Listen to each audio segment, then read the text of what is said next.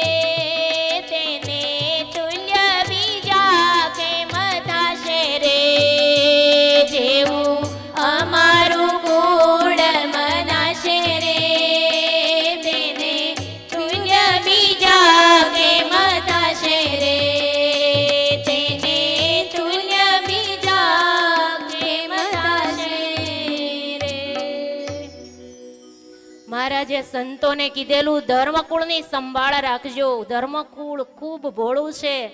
કોઈની વાતમાં લેવાઈ ન જાય. એટલે મહારાજે ગુણાતીતાનંદ સ્વામી વગેરે સંતોને ભલામણ કરેલી અને સંતો પણ ખૂબ ધ્યાન આપતા. મૂળજી બ્રહ્મચારી તો નાના નાના ધર્મકુળના બાળકોને કાખમાં તેડી તેડીને રમાડતા.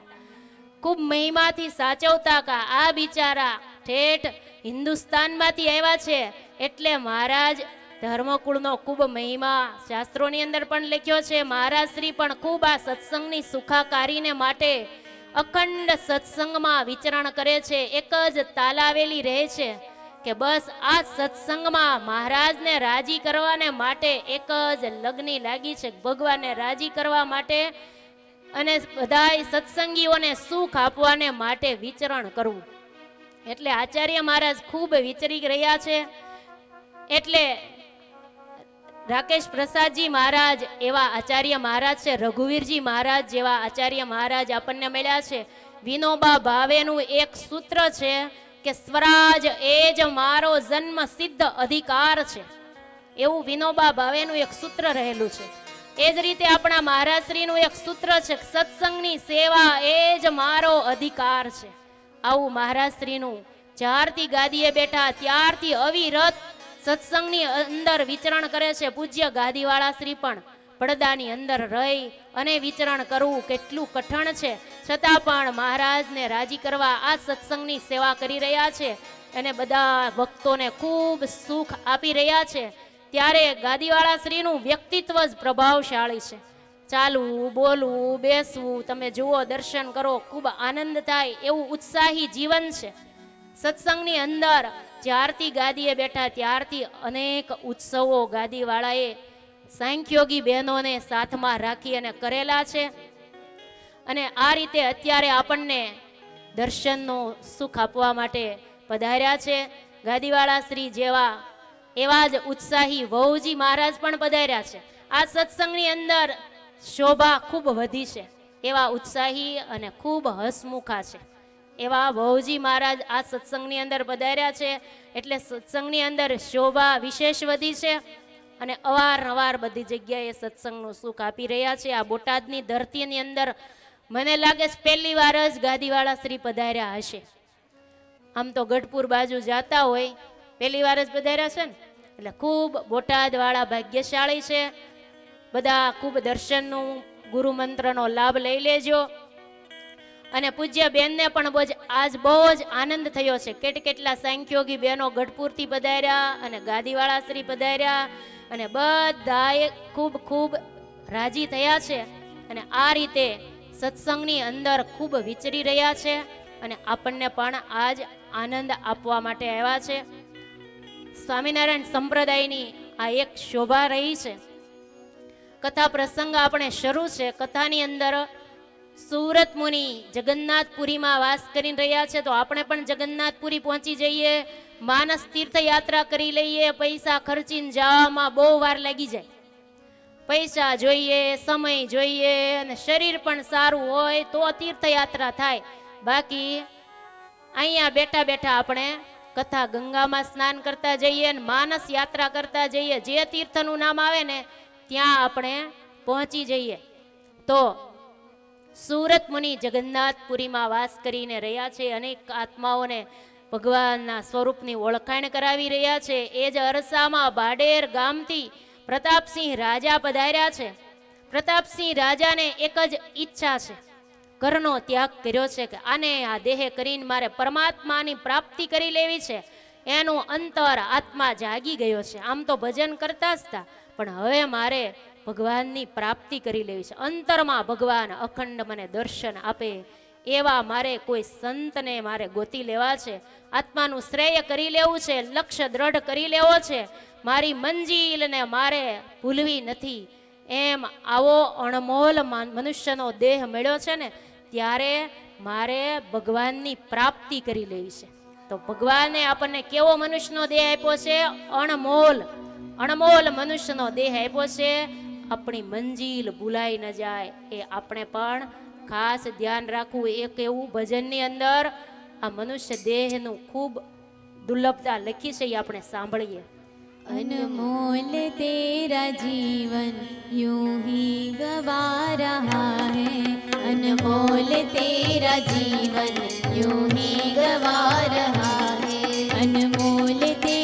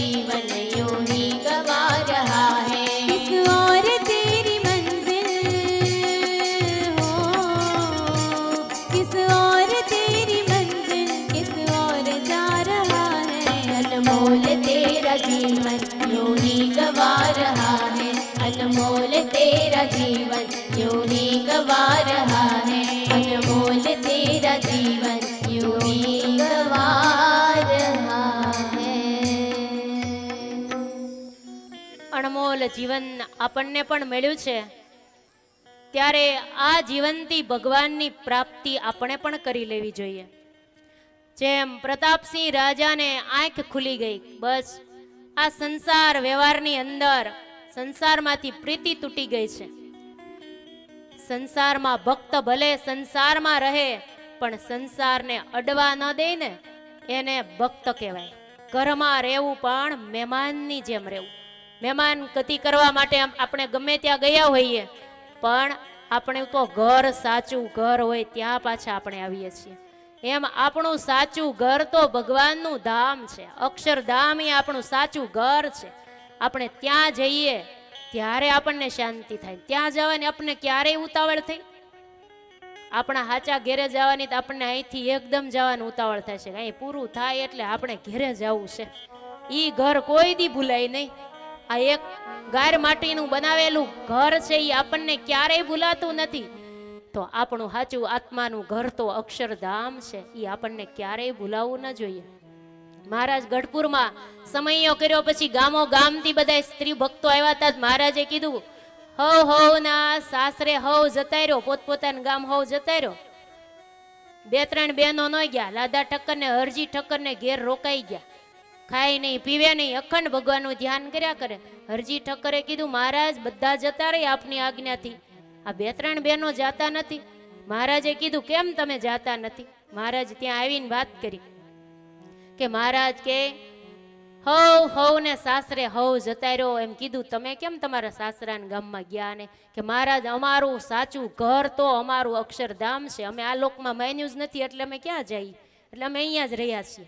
તો મહારાજ કે, ઈ હાસુ ઘર હોય ત્યાં વયા જાઓ. એમ કરીને મહારાજ દરબારગઢમાં આવ્યા ને આ બાજુ એના દેહ પડી ગયા ધામમાં વયા ગયા. સાચું ઘર તો ભગવાનનું ધામ છે. ભક્ત ભલે રે, સંસારમાં પણ સંસારને અડવા ન દે. સાચું ઘર ઈ ભગવાનનું ધામ માને. ભક્ત હૃદય હોય, એની વૃત્તિ ભગવાનમાં લાગેલી હોય છે. ભમરાને જેમ પુષ્પ વિના સુગંધ લેવાની અને બેસવાની મજા ન આવે એમ ભક્તને પણ ભગવાન સિવાય ગમે નહીં. ભગવાન સિવાય ક્યાંય મોજ ન આવે. એવું ભક્તનું જીવન હોય છે. સત્સંગની અંદર આપણે પણ સત્સંગમાં આપણે પણ બ્રહ્મર જેવા ફૂલની સુગંધ વિના ક્યાંય એને સુખ આવતું નથી. હોય ને એ ફૂલની આજુબાજુમાં જ ગુંજારો કર્યા કરે. એને બીજે ક્યાંય જવું ન ગમે. બીજા બધા હોય, એ બધે, બધી જગ્યાએ ઉડી ઉડીને જાય, પણ ભમરો ફૂલ પાસે જ જાય. એ જ રીતે આપણે પણ સત્સંગ- સત્સંગની અંદર આપણે પણ ભગવાનનું સુખ જ આપણને ગમે. ભગવાનની વાતો સાંભળવી ગમે ભગવાનની કથા સાંભળવી જ આપણને ગમે, ગ્રામ્ય વાતો આપણને એમાં રસ ન પડે. ઘણાઈને તો ગ્રામ્ય વાતો સાંભળવામાં બહુ રસ હોય. બે ચાર બેનું બેઠા બેઠા વાતો કરતા એક કે હું સોમવાર રહું એક કે હું મંગળવાર રહું એક કે હું શુક્રવાર રહું. એમ બધા એકબીજા વાતો કરે. એમાં એક બેન સાના માના ઊભા હતા કે તમે કયો વાર રહ્યો? તે કે હું એક કોઈ વાર ન રહું, હું હખણી રહું. લ્યો, હખણું રહેવું ને કોઈ વાર ન રહેવાય વાંધો નહીં. હખણું રહેવું એ મોટા મોટું વાર રહ્યા કહેવાય. એટલે એમ કહેવાય કોકનું સારું થાય તો કરવું, બાકી કોઈ નડવું તો નહીં હજુ. કોઈને નડવું નહીં.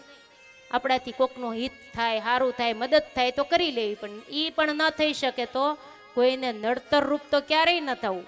એટલે સત્સંગની અંદર બ્રહ્મર જેવું થવું. ભમરાને સત્સંગનું ભમરાને ફૂલ ગમે ને એમ આપણને સત્સંગ જ ગમે. જ્યાં સત્સંગ થતો હોય ને, ત્યાં જ બેસવું ગમે. ગ્રામ્ય વાતો થતી હોય ત્યાંથી ઊભા થઈને આપણે જતા રહીએ. એ આપણને રસ ન પડે, નહીતર બહેનોને તો એવું જ. કોકની વાત થતી હોય ત્યાં વધારે રસ પડે, પણ ભક્ત હૃદય હોય ને, એને ગમતું નથી. એને ભગવાનની વાત સિવાય ગમે નહીં. કચ્છમાં કુંભારિયા ગામ છે. એ કુંભારિયા ગામની અંદર લક્ષ્મીચંદ ભાઈ થઈ ગયા. પચાસ વર્ષની ઉંમર થઈ. દીકરાએ વ્યવહાર સંભાળી લીધો. પછી નક્કી કર્યું કે હવે મારે વ્યવહારમાં ક્યાંય હવે માથું મારવું જ નથી. ભગવાનનું ભજન કરવામાં વિશેષ સમય પસાર કરવો છે. એવો ઠરાવ કર્યો છે. આપણે પણ ક્યાંક ઠરાવ હોય ને તો થાય. એને ઠરાવ કર્યો કે દરવાજે એક બોર્ડ માર્યું. બોર્ડમાં લક્ષ્મીચંદભાઈએ એવું લખ્યું કે લક્ષ્મીચંદભાઈનું મૃત્યુ થઈ ગયું છે. એવું બોર્ડ મારી દીધું. હયાત હતા છતાંય હો. આવા વિરલ ભક્તરાજ હતા. કોઈ માણસ હયાત હોય, એની હયાતીમાં કોઈ પોતાનું પોતાનું બોર્ડ મારી શકે? કે ફલાણા ભાઈનું, ફલાણા બેનનું મૃત્યુ થઈ ગયું છે, એવું બોર્ડ પોતાના દરવાજે કોઈ મારે? એવા, એવો ઇતિહાસ આપણે ક્યાંય સાંભળ્યો છે? પણ આ સ્વામિનારાયણ સંપ્રદાયની અંદર આવા પણ ભક્તો થઈ ગયા. પોતાની હૈયાતમાં બોર્ડ માર્યું કે લક્ષ્મીચંદભાઈનું મૃત્યુ થઈ ગયું છે. જે કોઈ વાંચે એને બધાને એમ થાય હવે એનું મૃત્યુ થઈ ગયું એટલે એને કોઈ મળવા આવે નહીં, એટલે ભક્તિમાં કોઈ વિક્ષેપ કરે નહીં, એટલા માટે આ બોર્ડ માર્યું હતું. એમાં સુથરામપુર બાજુમાં ત્યાંના હરજીવનભાઈ એના મિત્ર હતા. એકદમ એક દિવસ મળવા આવ્યા ને આ બોર્ડ વાંચ્યું એટલે એકદમ પોકે ને પોકે રડવા માંડ્યા મારા મિત્રનું મૃત્યુ ક્યારે થઈ ગયું? કેમ મને હજી ખબર ન રહી? કોઈએ મને કીધું નહીં? એના દીકરાને વાત કરી, તમારા પિતાશ્રીનું મૃત્યુ થઈ જાય તોય મને સમાચાર ન આપ્યા.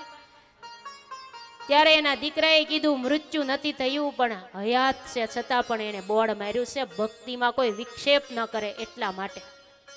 કેવા આવા વિરલ ભક્તો થઈ ગયા આ સત્સંગની અંદર. આ સત્સંગના ઇતિહાસોની અંદર આવા ભક્તોની ગાથાઓ છે. ઘણા ઘણા ભક્તોએ આ સંસારમાં રહીને નિર્લેપ રહ્યા છે. સંસાર અડવા દીધો નથી. ઘરની અંદર ઘરવાળા ગમે તેવા હોય ને વિરુદ્ધ દિશાના હોય. ઘણા બે પૈડા સરખા ન હોય. એક પૈડું સાયકલનું હોય ને એક પૈડું ગાડીનું હોય. એવા પૈડા પણ હોય ઘણા ઘણી જગ્યાએ. ભજન ભક્તિ એકને ગમે ને એકને ફરવા જવું ગમે. આ બે વિરુદ્ધ દિશાના હોય એમાં રહીને ભક્તિ કરવી ને એ બહુ કઠણ છે. બે પાત્ર સરખા હોય ને ભક્તિ કરવી, એમાં તો બહુ વાંધો ન આવે. અને એમાં એકાદું પાત્ર વિરુદ્ધ હોય ને ત્યારે ભક્તિનો એમ નામ રંગ રાખવો ને, એ જ મોટી કસોટી છે. એની ભગવાન બહુ સહાય કરે અને ભગવાન એની પ્રાર્થના પણ સાંભળે. તો દિયોર ગામના મૂળજી ભગતને એવા ભટકાણા હતા ઘરવાળા. દિયોર ગામ છે, મહુવા બાજુમાં. એના ઘરવાળા એવા, ભગવાનનું ભજન કરવું એને ગમે નહીં આ મૂળજી ભગત દર પંદર દિવસે ને અઠવાડિયે ગઢડા ટોપલો ભરીને ફૂલ લઈને આવે ને ભગવાનને હાર પહેરાવે. આ મૂળજી ભગત એવા ભગત. અને આ એના ઘરવાળા આ ગઢડે જાય ને ટોપલો લઈને, એટલે એને ગમે નહીં ને એટલે ગાયડું મંડે બોલવા. પાછળથી ગાયડું બોલે, વૈયા જાય ને પછી. એટલે આજુબાજુ વાળા એમ કે તમે ભગત જાઓ ને પછી તમારા ઘરવાળા તો બે ત્રણ ઘેરે સંભળાય એવી જોર જોરથી ગાળું દે છે તમને. ત્યારે મૂળજી ભગત સમજણ વાળા એટલે કે કાંઈ વાંધો નહીં, ભલે ગાળો દેતા, ગાળથી થોડા ગુમડા થઈ જવાના છે હું ક્યાં સાંભળું છું? ભલે દેવું એટલી દે, ભગત તો હલ મસ્ત સ્થિતિ વાળા અખંડ ભજન કર્યા કરે. એમાં એક દિવસ ટોપલા તૈયાર થયા, ગઢડા જવાની તૈયારી કરતા હતા ને ત્યાં ગાળું દેવાનું શરૂ કરી દીધું. એવા ગાળું બોલવા માંડ્યા. મૂળજી ભગતે હસતા હસતા એક ઉપાય કરી દીધો એને. ફળિયામ જઈને એક મોટો પથ્થર લઈ આવ્યા. ઘર વચ્ચે ખાડો કરીને પથ્થર ખોડ્યો અને ખોડીને સિંદૂર સોંપડી દીધો. પછી હું કીધું, હું જાઉં પાછળથી તારે ગાળું દેવી પડે તારી ગાળું બધી હેઠી પડી જાય છે. માટે તારી ગાળું ઝીલવા માટે મેં મારો પાળિયો પધરાવી દીધો છે. એની સામે ઊભી ઊભી તારે જેટલી ગાળું દેવે ને એટલી દેજે તમે તારા પાળીઓ બધી ગાળું ઝીલી લેશે. આવા મૂળજી ભગત દિયોર ગામના થયા અને પછી તો પાળિયાને સામે ગાળ્યું દેતા. આ સત્સંગના સંપ્રદાયની અંદર શાસ્ત્રોમાં લખાઈ ગયું, મૂળજી ભગત ટોપલા લઈને ગઢડા આવ્યા, સભાની અંદર વચ્ચે થઈને હાલ્યા આવે છે, મહારાજ સભા કરીને બેઠા છે ને મહારાજે આવકાર આપ્યો, પણ કેવો આપ્યો આજ? આવો આવો, પાળિયાભાઈ, આવો આવો આવો. ત્યારે સભામાં બધા જોવા માંડ્યા, મહારાજ આમ કેમ બોલે છે? આ તો મૂળજી ભગત છે, આપણે બધા ઓળખીશ મહારાજ નહીં ઓળખતા હોય. આજ કેમ મહારાજે આવી લીલા કરી? આવો આવો પાળિયા ભાઈ એમ કેમ બોલ્યા? મહારાજે કીધું મહારાજ મહારાજને પૂછ્યું, મહારાજ, આમ કેમ બોલ્યા? મહારાજ કે એને જ પૂછી જોવો ને એ જ તમને જવાબ દેશે. મૂળજી ભગત બધા સભામાં સાંભળે, એમ પોતાની બધી વાત કરી ગયા જાણે આજ એમ છું.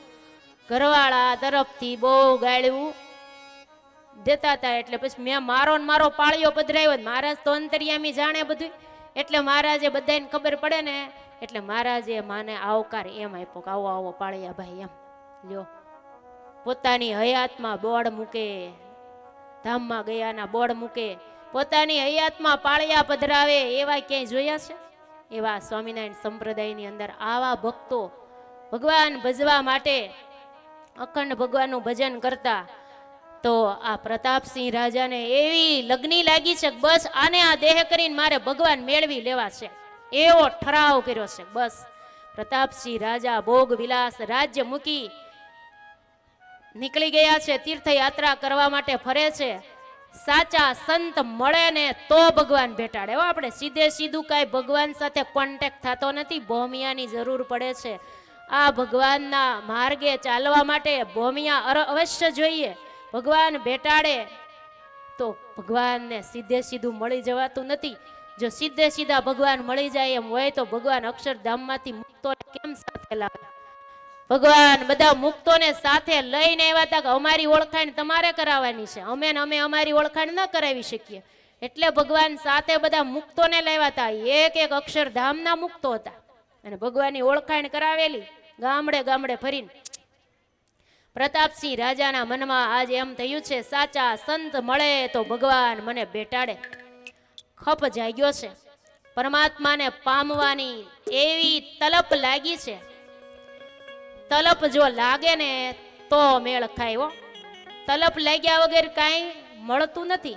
હાચી તલપ લાગે ને તો મળે છે. કરે રે એમ. કર્યા વગર મારે રહેવું જ નથી. એને હાચી તલપ લાગી કહેવાય. આ સંસારમાં જેને તલપ લાગે છે એ કરે રહે છે. અને ભગવાનને માર્ગે જેને તલપું લાગી છે એ મેળવા વગર રહેતા નથી ભગવાનને. સાચી ભૂખ લાગે, સાચી તલપ લાગે ત્યારે કર્યા વગર રહેવાય નહીં.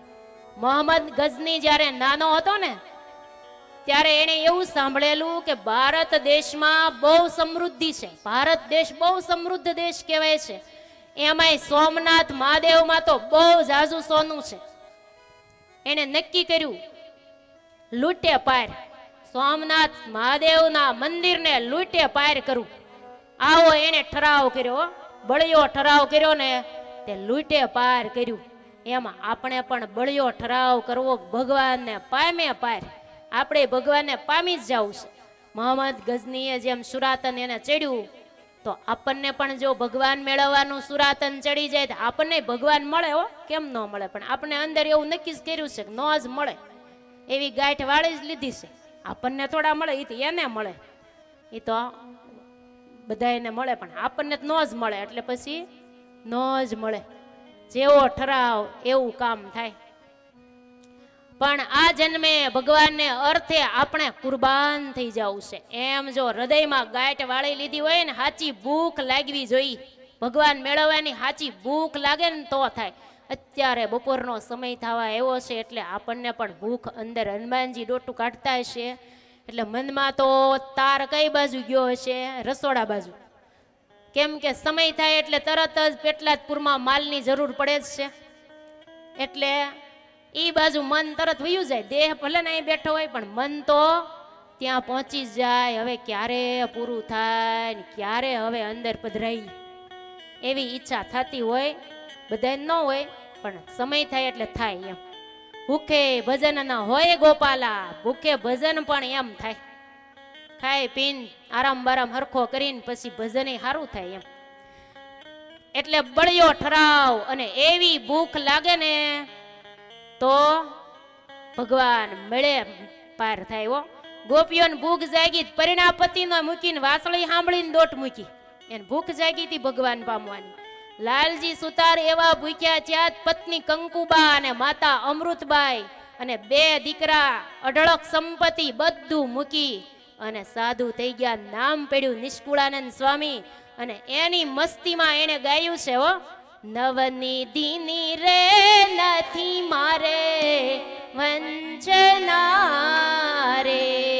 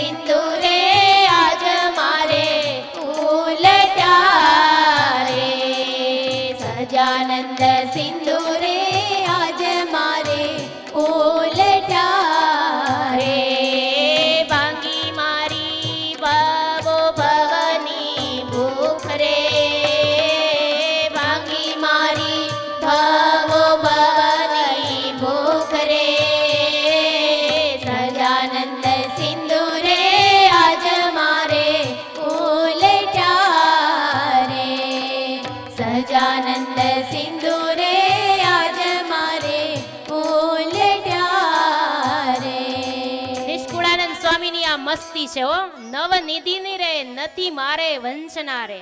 અષ્ટ સિદ્ધિ નવ નિધિની મારે કોઈ પ્રકારની ઈચ્છા નથી. અને મારે તો ભગવાનને પામી જવું છે. એવી ભૂખ જાગીને ત્યારે ભાગ્યા.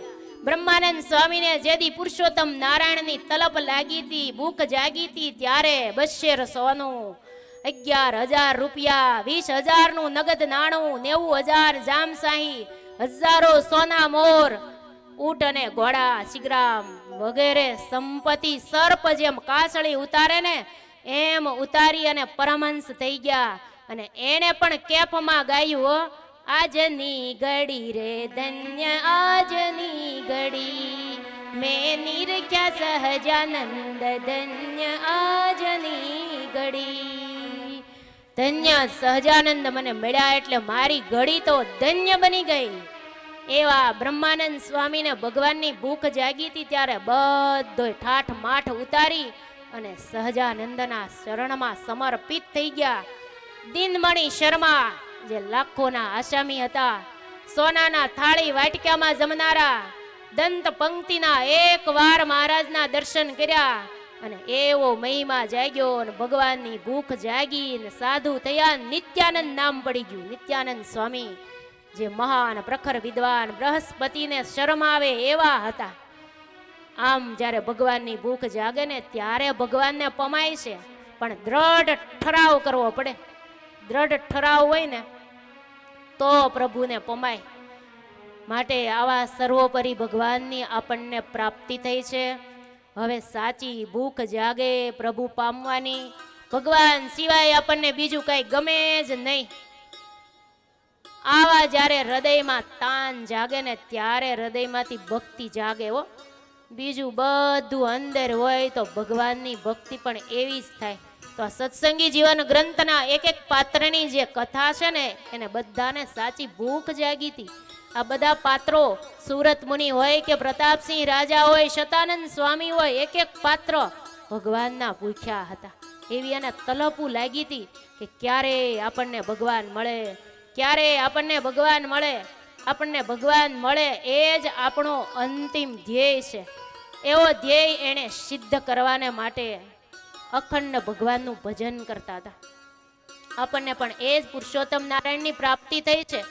તો આપણે પણ મુમુક્ષુતા જગાવીએ, ભગવાનની આપણા હૃદયમાં પણ તલપ લાગે તો ભગવાન આને આ દેહે આપણને પણ હૃદયમાં દર્શન આપે છે. આ રીતે પ્રતાપસિંહ રાજા તીર્થમાં ફરવા લાગ્યા છે. તીર્થની અંદર ફરતા ફરતા પરમાત્માના દર્શનની ઈચ્છા છે. ભગવાનનો અખંડ અનુભવ કરાવે ને એવા મને સદગુરુ મળે. સંત મળે તો મારો બેડો પાર થઈ જાય. બસ સાધુ મહાત્માને ખોળવા માટે ફરે છે. ગુરુ ક્યાં મળે? જો મળે તો ચરણે મારે માથું મૂકી દેવું છે. ભગવત અનુભવી ગુરુની શોધમાં નીકળ્યા છે. એમાં ફરતા ફરતા જગન્નાથપુરીમાં આવ્યા છે. સુરત મુનિ ના દર્શન થયા છે. અનેક સાધુ મહાત્માઓને તીર્થોમાં જોયા પણ ક્યાંય શાંતિ નથી થઈ. પણ સુરત મુનિના જ્યાં દર્શન થયા છે ને ત્યાં તો મનનો મોરલીઓ નાચી ઉઠ્યો છે. બસ હૈયું ઠરી ગયું ને હૃદયમાં શાતા વળી છે. આનંદ આનંદ થઈ ગયો છે. જગ હૃદયની અંદર એમ થઈ ગયું, હા, પડી ગઈ કે હું જેવા ગુરુની શોધમાં હતો, એવા જ મને સાચા સદગુરુ મળી ગયા છે. ચરણમાં માથું મૂકી, હાથ જોડી અને પ્રતાપસિંહ રાજાએ ગુરુના ચરણે માથું મૂકી દીધું. કોઈને પણ આપણે ગુરુ કરવા હોય, વિનમ્રતા જોઈએ. અને વિનમ્રતાથી, સરળ સ્વભાવથી આપણે જો ચરણમાં માથું મૂકી દઈએ તો જરૂર આપણો પણ સ્વીકાર થતો હોય છે. એ પ્રતાપસિંહ રાજાની કેવી અંતરની આરજુ હતી. એ ભગવાનના ગુરુના ચરણે માથું મૂક્યું છે. હે મેરે ગુરુદેવ, કરુણા સિંધુ કરુણા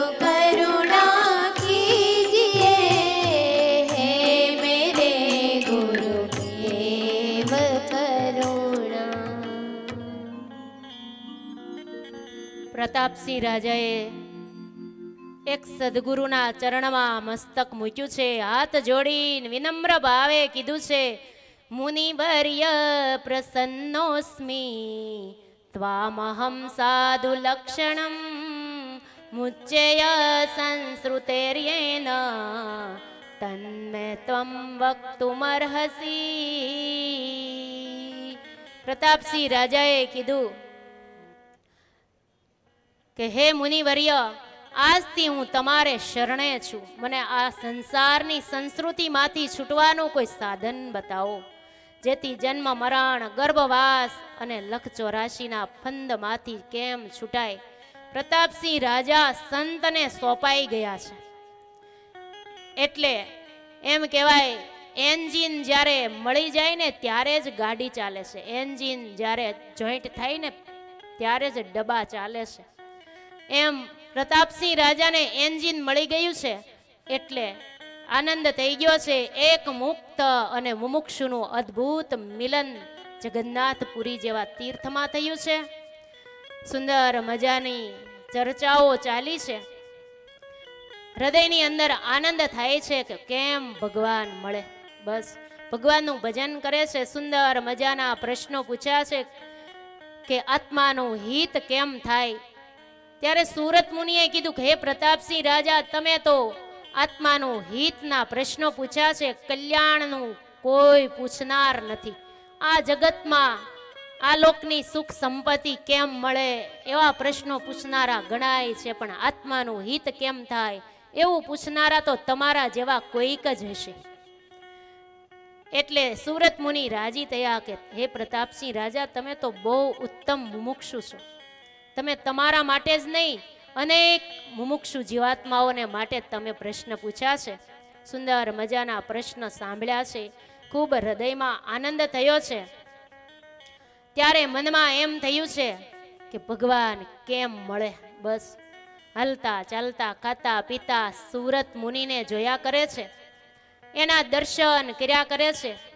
કેમ સંત કેવી પૂજા કરે છે? કેમ ભગવાનનું બધું જ પૂજન કરે છે? જોયા કરે છે? જોતા જોતા મનમાં એમ થયું કે આ સુરત મુનિ તો ભગવાનને મળેલા છે. એની પૂજા પણ ભગવાન સ્વીકારે છે. એટલે એક દિવસ પૂછ્યું છે કે, હે મુનિરાજ, મને ભગવાનના દર્શન થાય એવી ઈચ્છા છે. મને ભગવાનના દર્શન કરાવો. ત્યારે સુરત મુનિએ કીધું ભગવાનના દર્શન તો બહુ દુર્લભ છે. ભગવાનના દર્શન એમ ન થઈ શકે. ભગવાનના દર્શન તો સાધના કરવી પડે અને ભગવાન જો રાજી થાય તો દર્શન થાય. આ જગન્નાથપુરી જેવું તીર્થધામ છે. ઇન્દ્રધુમ્ન સરોવરમાં સ્નાન કરો, ભગવાનના દર્શન કરો અને ભક્તિ કરો. ભગવાન રાજી થશે એટલે ભગવાન દર્શન આપશે. દર્શન તો ભગવાનના રાજીપાનું કામ છે. ભગવાન જો રાજી થઈ જાય તો દર્શન આપે છે. માટે આપણે તો ભગવાનની ભક્તિ કર્યા કરવી. ભગવાનની ભક્તિ કરતા કરતા ભક્તિની અંતિમ શરમ સીમા આવે ત્યારે ભગવાન દર્શન આપે છે. બાકી દર્શન બધાને થતા નથી. આપણે તો ભક્તિ કર્યા કરીએ. વિવેકાનંદ સ્વામી હતા. વિવેકાનંદ સ્વામીનું પેલા નરેન્દ્ર નામ હતું. કેટલાય મહાત્માઓને મળ્યા. બધાને પૂછે મને ભગવાનના દર્શન કરાવો. મને ભગવાનના દર્શન કરાવો. જે મળે ને એક જ પ્રશ્ન પૂછે. ત્યારે બધા એમ જ કે ભગવાનના દર્શન કરાવવા એ અમારા હાથમાં નથી. ભક્તિ કેમ કરવી એના ઉપાયો બતાવીએ. પણ દર્શન તો ભગવાન કૃપા કરે તો થાય. અનેક મંડલા અધિપતિઓને મળ્યા. એમ કરતા કરતા ફરતા ફરતા રામકૃષ્ણ પરમહંસને મળ્યા છે. ધ્યાનમાં બેઠા હતા વંદન કર્યા છે. આંખો ખોલી ત્યારે કીધું છે, મને પ્રગટ ભગવાનના દર્શન કરાવો. ત્યારે એને એમ થયું, આને ખબર નથી દર્શન કેમ થાય, એટલે એને એને પ્રેક્ટિકલ પ્રયોગ કરીને બતાવવું પડશે. હાથ પકડીને કીધું, હાલ સમુદ્રમાં સ્નાન કરવા જઈ આવી. એમ કરીને સમુદ્રમાં સ્નાન કરવા લઈ ગયા, બંને એક સાથે પીડ્યા અને એવું માથા ઉપર વજન દીધો, ડુબાડી દીધા. પછી હાથ માથે લીધો જ નહીં તડફડિયા મારવા માંડ્યા. કેટલી ઘડીએ માથેથી હાથ લીધો પછી બહાર નીકળ્યા ને ત્યારે કીધું, હું તમારે મને મારી નાખો તો ત્યારે રામકૃષ્ણ પરમહંસે કીધું, મારવા માટે હાથ માથે નહોતો દબાવ્યો, પણ તને તારા પ્રશ્નનો આ જવાબ છે. તે મને પ્રશ્ન પૂછેલો ને કે મારે ભગવાનના દર્શન કરવા છે. ભગવાનના દર્શન કરવા માટે આટલી તાલાવેલી જાગે ને ત્યારે દર્શન થાય. તને બહાર નીકળવાની કેટલી તાલાવેલી હતી? પાણીમાંથી બહાર નીકળવા કેટલો તરફડિયા મારતો હતો? એવી ભગવાનને મળવાની તાલાવેલી જાગે તરફડિયા મરાય, ત્યારે ભગવાન દર્શન આપે છે. એમ નામ આપતા નથી. લાલ પીળા થઈ ગયા, ત્યારે પાણીમાં જ બહાર નીકળ્યા. એમ ભગવાનના દર્શન બહુ દુર્લભ છે. માટે ભગવાન મેળવવાની ઈચ્છા જાગે, પણ સાધના કરવી પડે. ભગવાનને મેળવવાની બહુ દુર્લભ છે. આ રીતે પ્રભુને પામવા માટે ઘણા ઘણાએ ઘણી ઘણી સાધનાઓ કરી છે. ભગવાનને મેળવવા માટે આ સુરત મુનિ અને પ્રતાપસિંહ રાજાની અદ્ભુત જોડી છે. અહીંયાથી સત્સંગી જીવનનું સર્જન થાય છે. અહીંયા ઇન્દ્રધુમ્ન સરોવરને કિનારે બેસીને જ આ સત્સંગી જીવન શાસ્ત્રની શરૂઆત થઈ છે. સુરત મુનિને પ્રતાપસિંહ રાજાએ જે જે પ્રશ્ન પૂછ્યા એના જવાબો આપ્યા છે. મહાન તીર્થધામ નિમિત્ત બન્યું છે, સત્સંગી જીવનનું શાસ્ત્રનું ઉદ્ગમ સ્થાન બન્યું છે. એટલે આપણે શાસ્ત્રોની અંદર આપણે શુભ શરૂઆત જ્યારે કથાના પહેલા જ દિવસે જગન્નાથપુરીને એટલે યાદ કરીએ છીએ, કેમ કે સ્વામિનારાયણ સંપ્રદાયના શિરમોડ સદગ્રંથની રચના ત્યાંથી થઈ છે. રચના તો ગઢપુરમાં સત્સંગી જીવનની થઈ, પણ સંવાદ ત્યાં પહેલો વહેલો થયો છે અને સત્સંગી જીવનમાં લખાયેલો છે. તો આપણે બધી જગ્યાએ યાત્રા તો કરતા જશું પણ જગન્નાથપુરીમાં કેટલાય યાત્રા કરી? ઉશિયાંગળી કરો તો. ચાર ધામની યાત્રા કરવા ગયા હોય, એને જગન્નાથપુરીની યાત્રા કરી હોય, એટલે એને હામું દેખાતું હોય મંદિર. કેટલું ઊંચું છે આમ, ઊંધું પડી જવું પડે ત્યારે શિખર દેખાય. એટલું બધું એનું શિખર ઊંચામાં ઊંચું છે. એવી આ જગન્નાથપુરી ચાર ધામની યાત્રા અવશ્ય ભગવાન કૃપા કરે કરી લેવી હો. પૂજ્ય ગાદીવાળા શ્રીએ પણ સમાપન મહોત્સવ જગન્નાથપુરીમાં એક ઉત્સવ કરેલો રામેશ્વરમાં, દ્વારિકામાં. આ સમાપન મહોત્સવ બહુ મોટે પાયે બધા સાંખ્યોગી બહેનો પણ ગયેલા. અને ત્યાં જગન્નાથપુરી ઠેઠ લઈ ગયા હતા બધા તો જગન્નાથપુરી બહુ મોટું તીર્થ છે દક્ષિણનું. ચાર ધામની યાત્રાનું તીર્થ કહેવાય. આપણા સત્સંગની અંદર પણ એક કવિએ ભજન કીર્તન લખ્યું છે. કદાચ આ ચાર ધામની યાત્રા ન થાય ને તો આપણા સત્સંગના ચાર ધામ બતાવ્યા છે.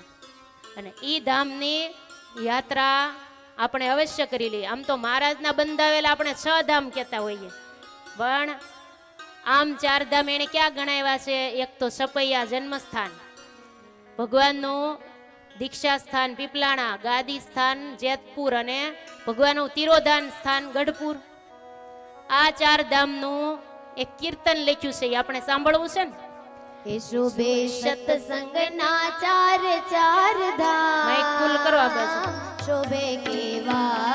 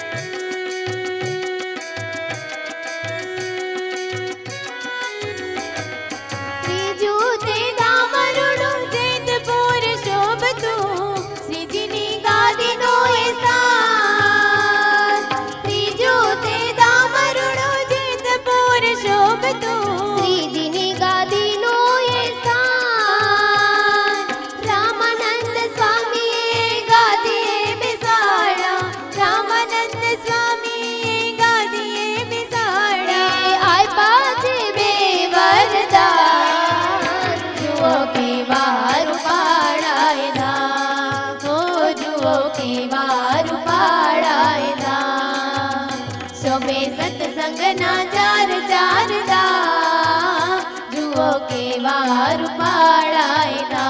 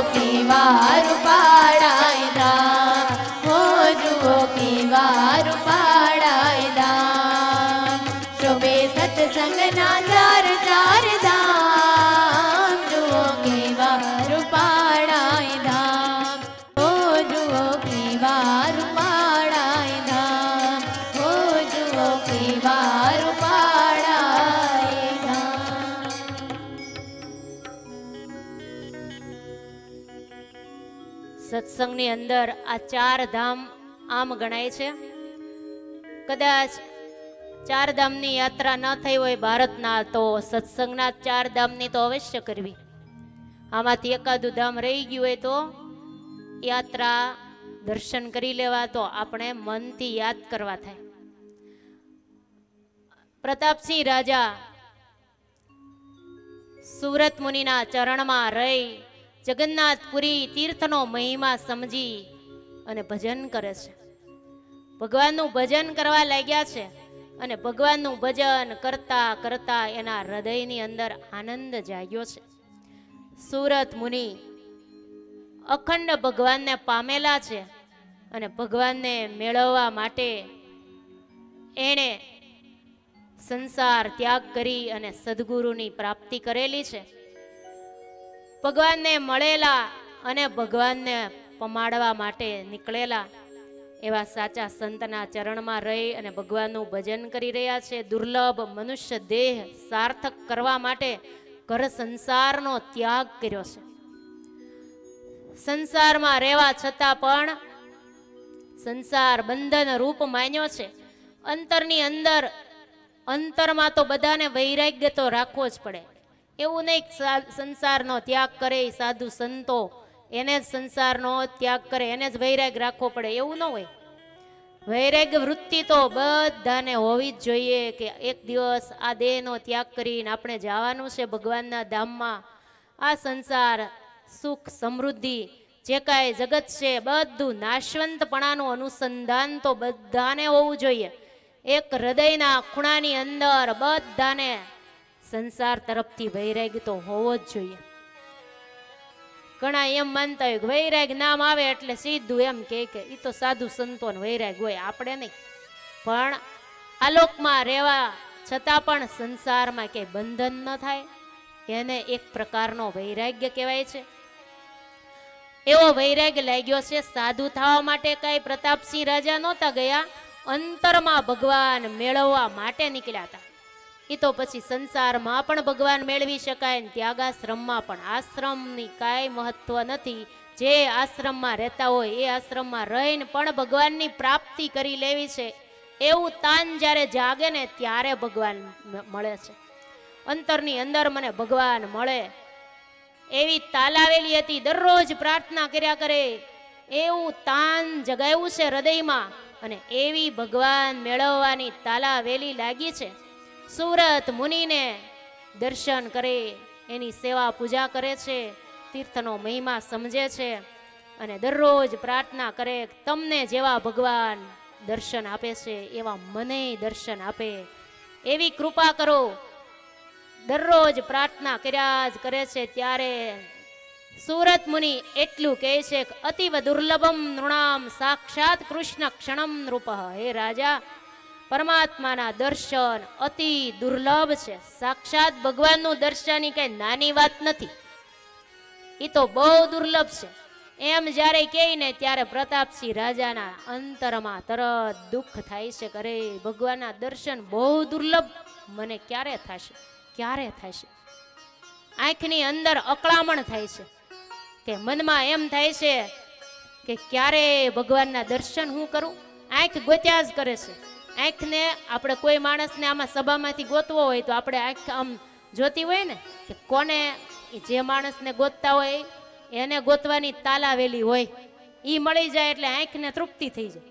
કે ઠીક, મારે જેને ગોતવાથી મળી ગયા. એમ આંખની અંદર પ્રતાપસિંહ રાજાને તાલાવેલી લાગી છે, ક્યારે મને આ આંખેથી ભગવાનના દર્શન થાય, ક્યારે મને ભગવાનના દર્શન થાય? એમ અખંડ આંખમાં તાલાવેલીમાં ઊંઘ પણ આવતી નથી. રાત દિવસ આંખમાંથી આંસુની ધારાઓ પડ્યા કરે છે. સુખ શાંતિ અંતરમાંથી એમ થાય છે. જ્યારે દર્શન થશે ત્યારે મને શાંતિ થશે. પ્રેમાનંદ સ્વામીએ આ ભાવનું કીર્તન લખ્યું છે. આખડીઓ કડાય રે જોયા વિના આખડીઓ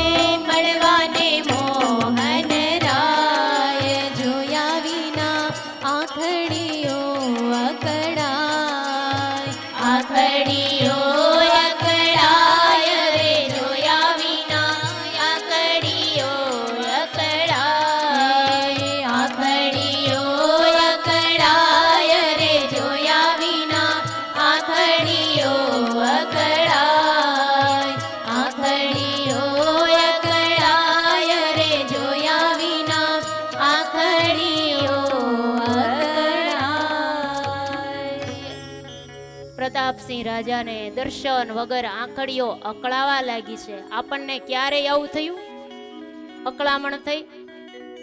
આપણે જોતું હોય ન મળે તો અકળામણ થાય. બાકી ભગવાનના દર્શન ન થયા, ક્યારેક મંદિરે ન જવાયું, ભગવાનનું ભજન ન થયું ને આપણને અકળામણ થઈ. એવું આપણા જીવનમાં ક્યારે બન્યું, એવું આપણે તપાસ કરીએ. પ્રતાપસિંહ રાજાને ભગવાનના દર્શન વગર અકળામણ થાય છે. એવા પાત્ર આ સત્સંગી જીવનના છે, જે સુરત મુનિ શ્રોતા વક્તા છે, પ્રતાપસિંહ રાજા વક્તા છે, સુંદર શ્રોતા અને વક્તાની અદ્ભુત મિલન જગન્નાથપુરીમાં થયું છે. હવે આગળની કથાને આપણે બપોર પછીના સેશનમાં આગળ સુરત મુનિ અને પ્રતાપસિંહ રાજાનો સંવાદ, શતાનંદ સ્વામીનું જીવન ચરિત્ર વગેરે કથાઓ આપણે બપોર પછીની કથામાં લઈશું. અત્યારે ભગવાનના મંગલ મહામંત્રના નામ સ્મરણના આશ્રય સાથે અત્યારની કથાને આપણે અહીંયા વિરામ કરીશું. સ્વામી નારાયણ નારાયણ નારાયણ. સ્વામી